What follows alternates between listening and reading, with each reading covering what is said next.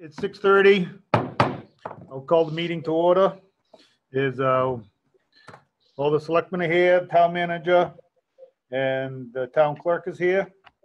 Uh, We have people in the waiting room to join us later on. Is, uh, please stand with me and salute the flag. Pledge allegiance to the to the flag flag of the United United States States of of America America and to the republic for which it stands, stands one one nation, nation, under God, God, indivisible, indivisible, liberty and justice for all. for all.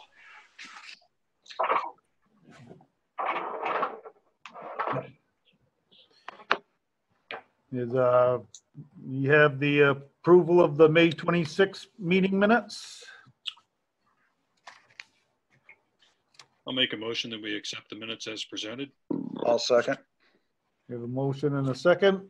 Any discussion? I'll go through the roll. Is Noah, Yes. Ed, Yes. Ken, Yes, and myself was yes, and Mark was not there, so he can recuse himself. Um, Patty, did we have any, uh, thing for public comment? No, we don't. Okay, we have no public hearing.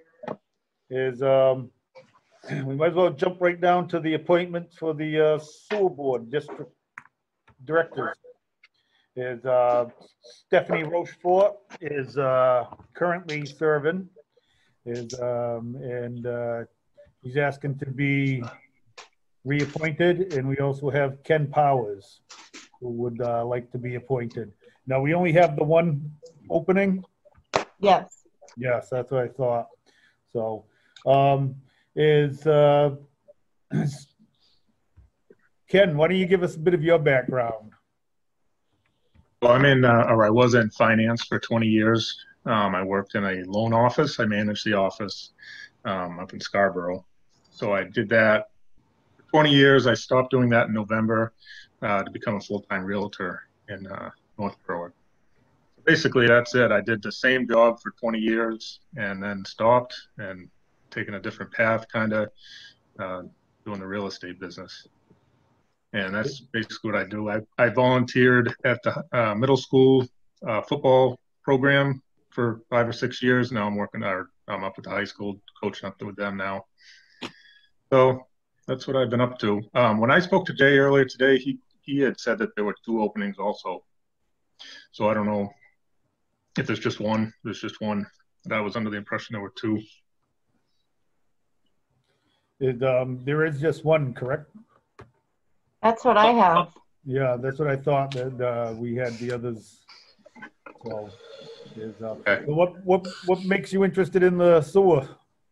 Well, I'd like to get involved with the town. That- That's basically what I've my my goal is to get involved somehow. And I mean, this is on a very limited limited basis, once a month meetings, things like that. But I that's that's my primary goal is to get involved with the town. And uh, this seemed like a really uh, promising, good way to do it.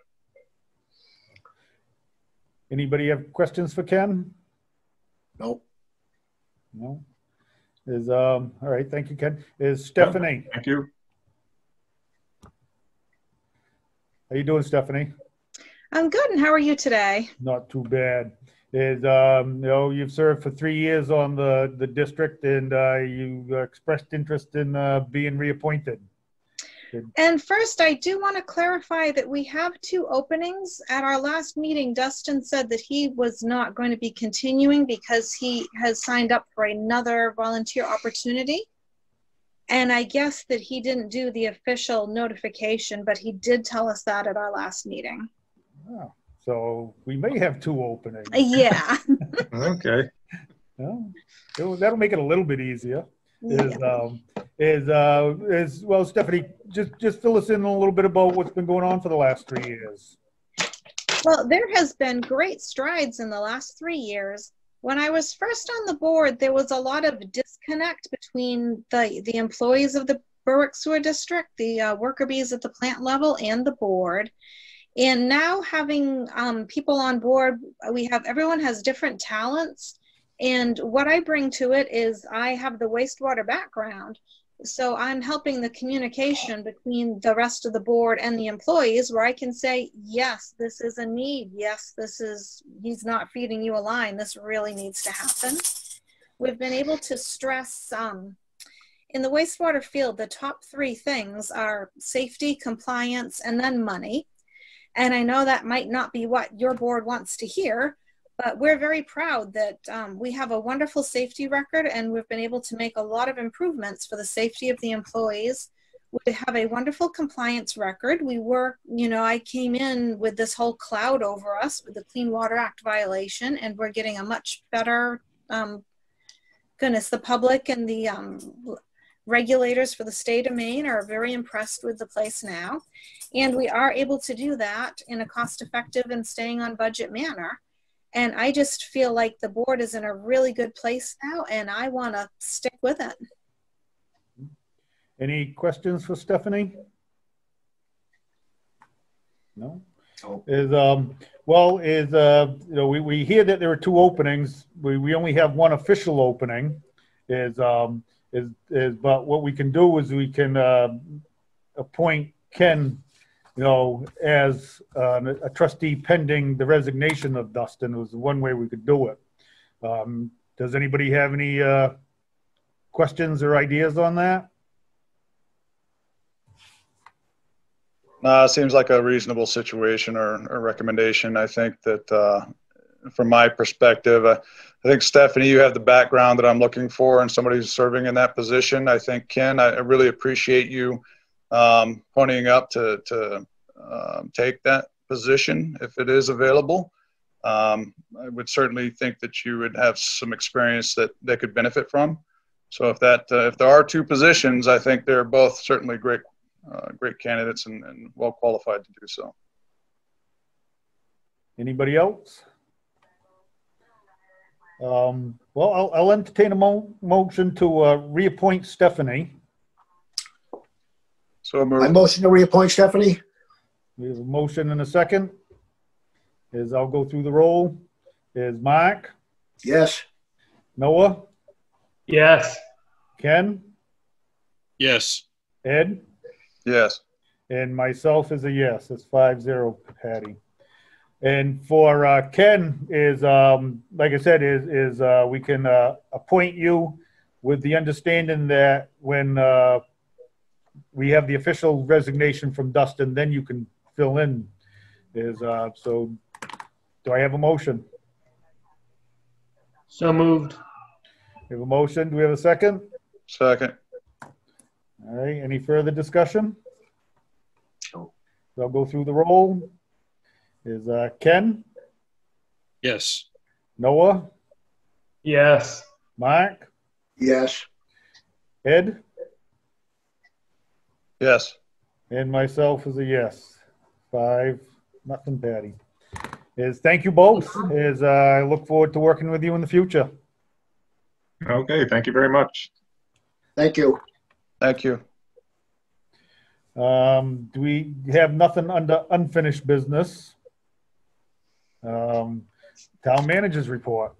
I have a few things. Um, just so everybody's aware, the town office hours, we've adjusted those.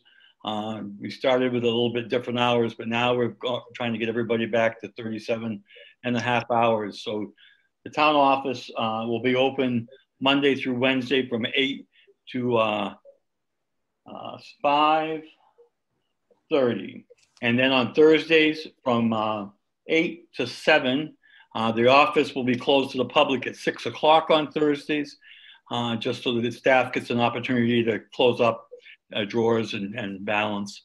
Um, Fridays, we're going to be closed for the time being, um, and we'll readdress that um, as this pandemic hopefully slows down.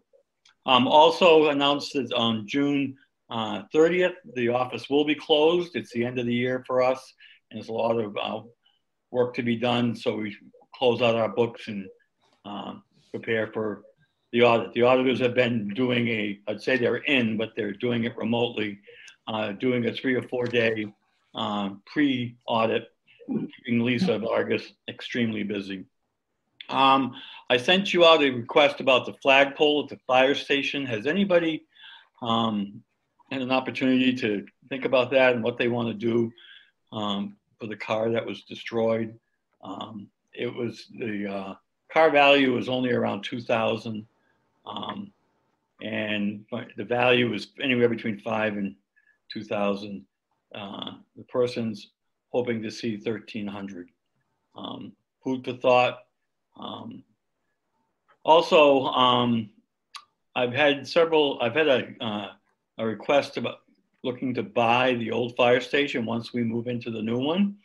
Um, I'm not sure what the asking price is. I know um, I've had um, one of the realtors give me a price of around 250,000 uh, to 300,000 in value, but there wasn't really much to compare it with.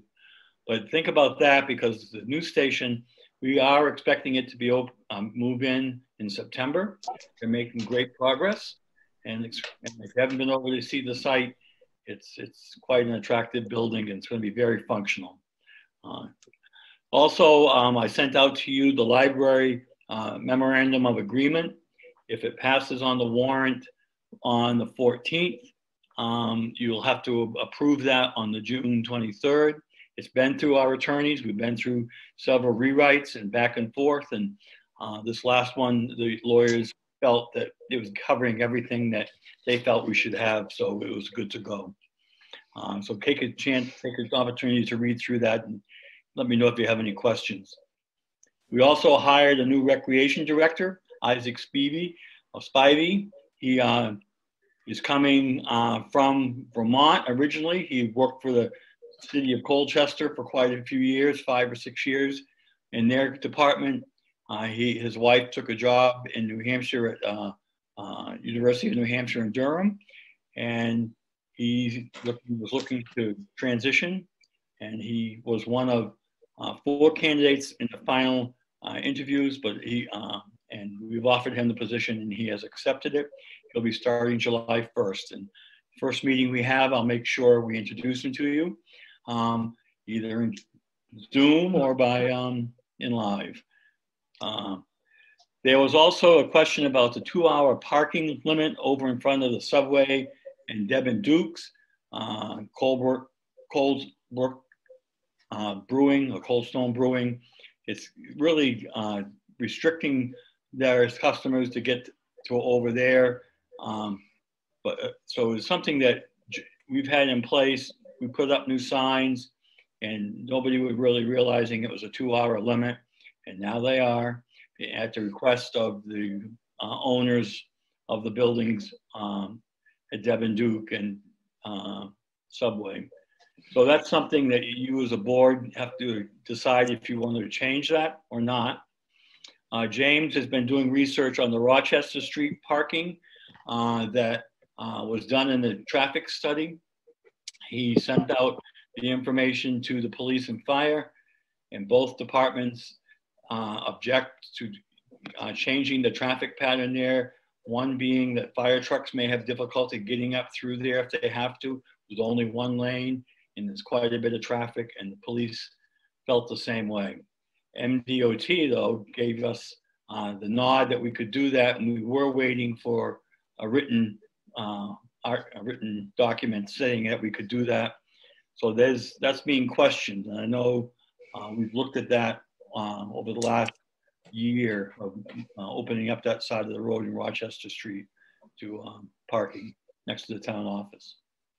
So it's something we're going to have to address um, pretty soon. Uh, right now, Norris has been in the building. They were there today, I take it, Patty. Yes.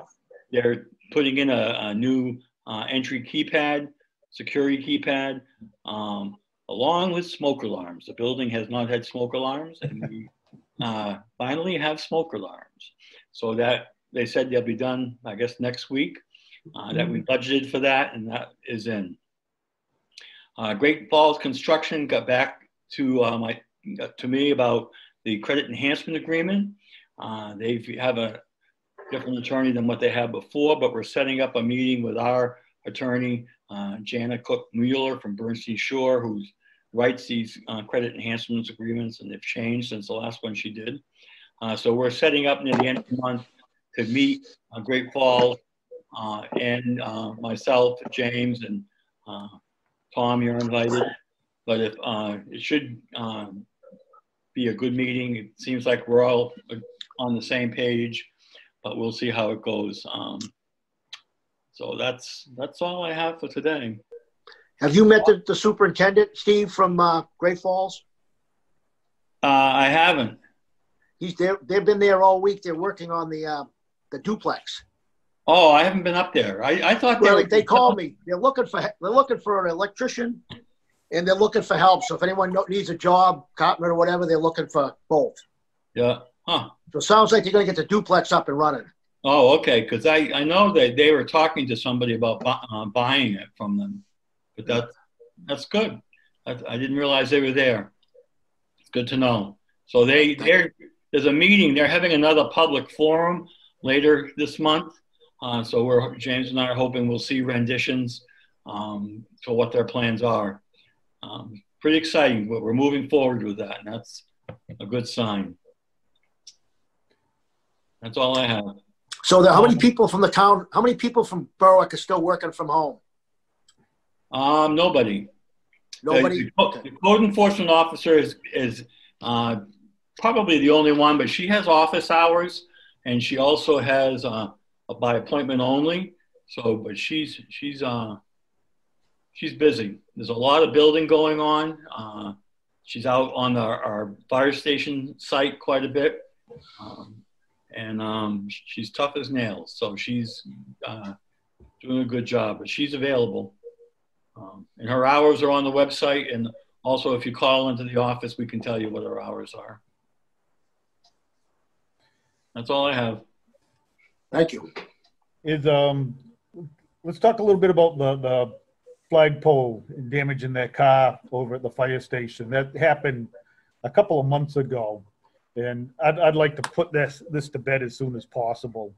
Um, I'm, I'm really upset that the insurance company will not cover this. I cannot imagine their reasoning, but Steve said he, uh, had quite a few arguments with them and, uh, they won't budge on it. Um, I think, I think we owe the person, you know, compensation for the car.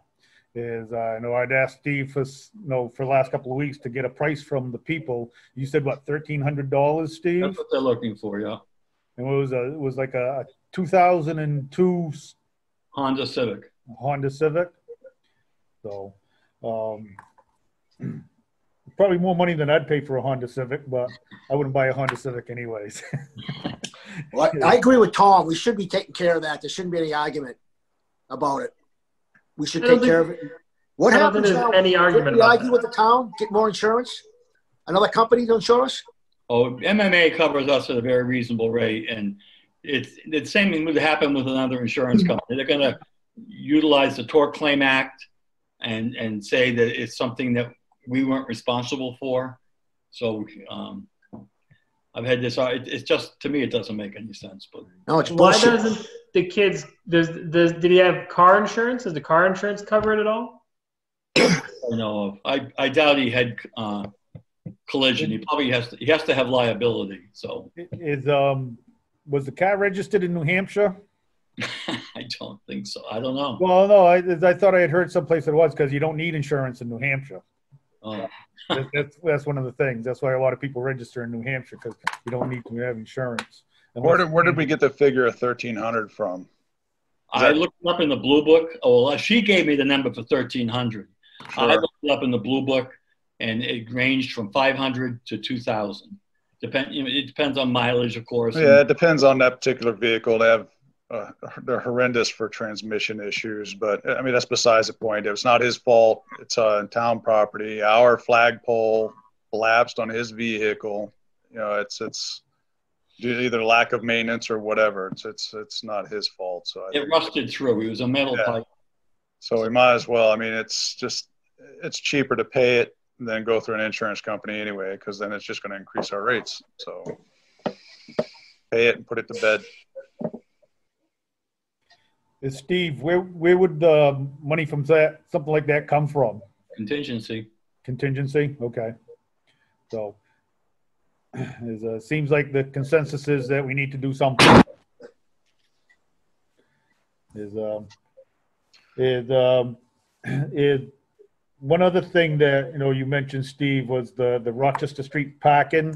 You're talking about along, alongside the town hall here, correct? Yes. Where, and you said the police chief and fire chief said that, no, they thought it would restrict the traffic flow through there too much. An ability for the fire trucks to get up through if it was, traffic was backed up. I understand their point.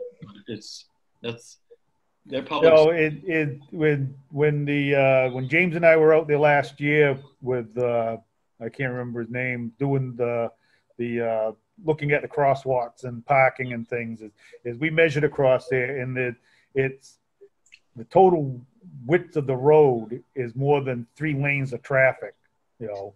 And so if we took up just part of it with eight feet with parking space, is uh, you're still going to have more two lanes worth of traffic open no roadway there. So I no, we'll look at it again. We'll take some measurements, but I, I think it can be managed. I think it's something that we need to utilize. Well, Tom, look at South Berwick. They park on both sides of the road for the stores, the fire trucks. So, I mean, that's parked on both sides. Romeo would be on one side. right. So is um, um, and and one thing that uh, Patty and I talked about before the meeting is uh, we were wondering if you were going to bring it up, Steve. Was um, is uh, the vote is July 14th now, and that is one of our regular meeting dates. Is um, so is you know in the past we have you know only held one meeting in July. Is uh, I don't know if there's going to be anything too major coming up in July, Steve. Do you have a feeling for that? No, there shouldn't be. So is uh maybe that's something that we want to look at it, just having one meeting in July, you know, Have it the second meeting. yeah. So, Yeah, August, you're gonna have a tax commitment coming up and, um, the budget would have passed, so we'll see what that brings, hopefully. Uh, one of the things I wanted to bring up is also, is I sent you all the financial reports, uh, for the end of May. If you have any questions, revenue side looks like it's coming in pretty good. Uh, it's, it's the following, next year that I'm a little worried about, but the governor opened up everything for July 1, so maybe we'll still get our tourists. Um, but otherwise, we're a little over in the transfer station and public works, but uh, otherwise, we're pretty much on track. And we had over in the building, but I, I gave you a rundown of areas to look at. right. Any questions, let me know. Or give Lisa Vargas a call. Thank you, Steve. Um, Hey, Steve, I, I see it in the paperwork that um, Patty sent over. We cut a check for nine, almost 900,000 to Landry French. Yep, close to that. Yeah. What, what, um, they get like that once a month. You're not going to let them get overextended with us, right? I mean, they're not going to Oh, no, get them no, all they're, they're up to think it's a date. idea. They're up to date. We still have just under three million left uh, to finish up what they're done, and they're right on track. They uh, they're making sure that their contractors are getting paid, from what I can tell. Oh, yeah, they- And, I just uh, don't want to see them front load it.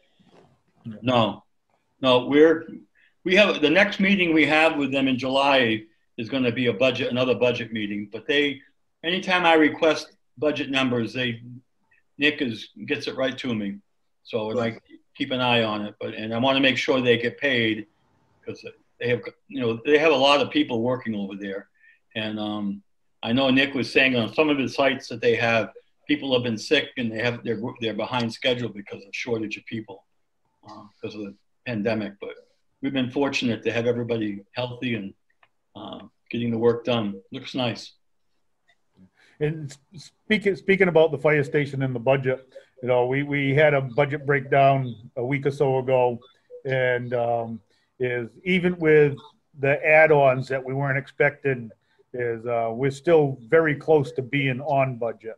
Is right now, I think we're just slightly over, but we're looking at some other savings down the road.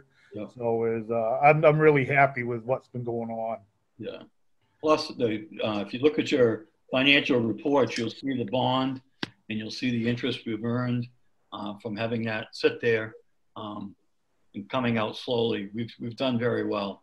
So uh, we're we definitely should come in on budget, and they're Good. they're very aware of that.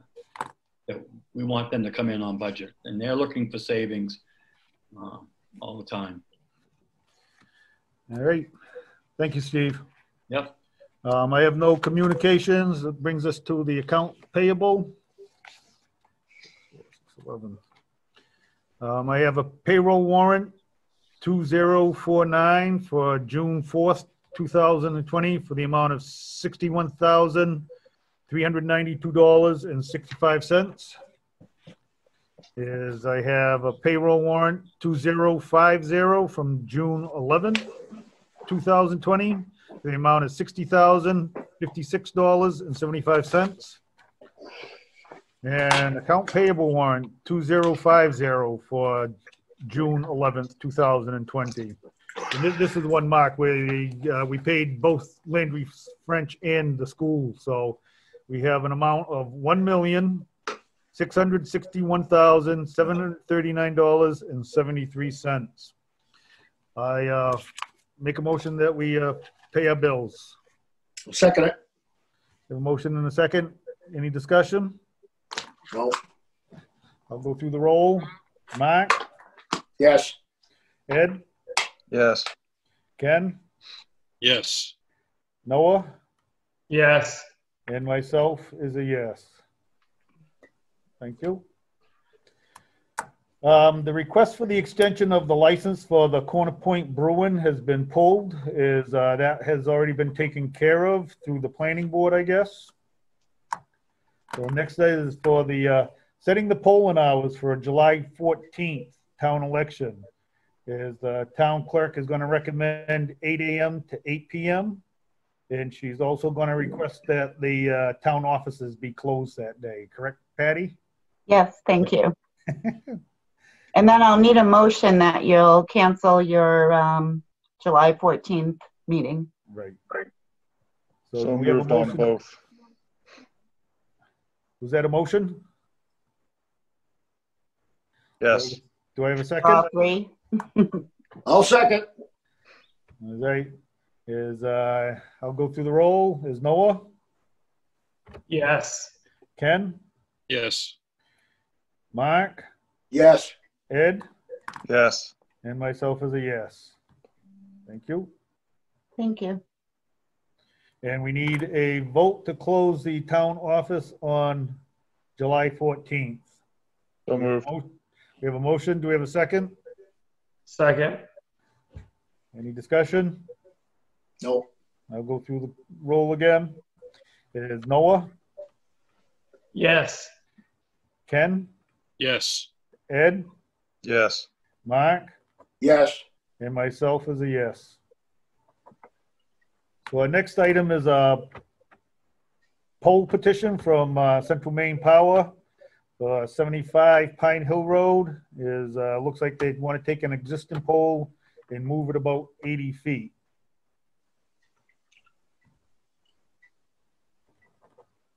Is, um, they seem to be moving a lot of poles lately is, uh, but they won't move the one at the end of our new access road, Steve. How come?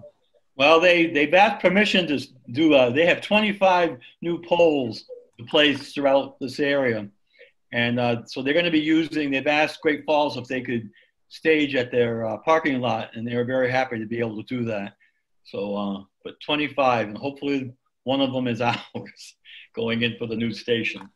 Why, why can't we take that pole out, uh, on that one way going down to Route, Route uh, nine from the police station? Beside the old school, that road comes out, there's a damn pole right in the middle of it. Oh, Why can't that be moved? that was supposed to be moved during that project with Bateman. Right. and somehow it, it slipped under the radar and never got moved. And, you know, so I believe that the uh, developer was supposed to pay to have that moved and, uh, is good luck in trying to get that money from them. So, Unbelievable. Tom, All right, we have, uh, Tom, looking at the request, uh, are they moving a pole or are they adding a new pole? I, Because I kind of think it's a new pole. let's see.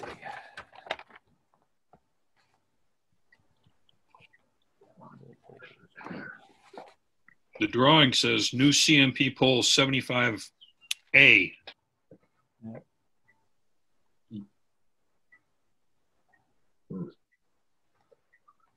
Yeah, it just looks like an, an additional pole in between. Oh, I the see, yeah. I thought they were moving one.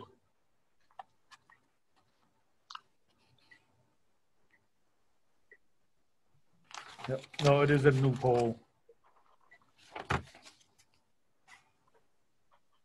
I move we accept the pole permit from CMP as, as presented. I'll presented. second it. Any further discussion? Nope. Is, uh, go through the ro- roll, is Mike, Yes.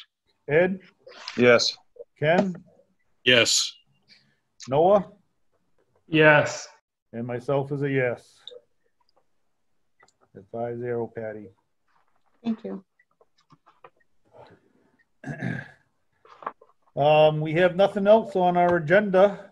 Is, um, is, uh, I'll, uh, put it out there for Patty that she will need people to come in and sign warrants as soon as Yes, please. possible. hmm And the pole petition. And the And poll- also, just a note, the school um, rescinded their original warrant. There's now a new warrant which combines, there's now going to be four questions for voters. They will be having their public hearing on that on June 23rd. Um, The same That'll night be as, held over Zoom. People can call in or Zoom in. But anyway, there'll be more information out on that, but I have um, new warrants to sign for that. that. is, uh, that's the same night as our next meeting also, correct? Yes. So, So Steve Connolly will not be attending our meeting anyway. When, when, do- when do we get to meet the new superintendent?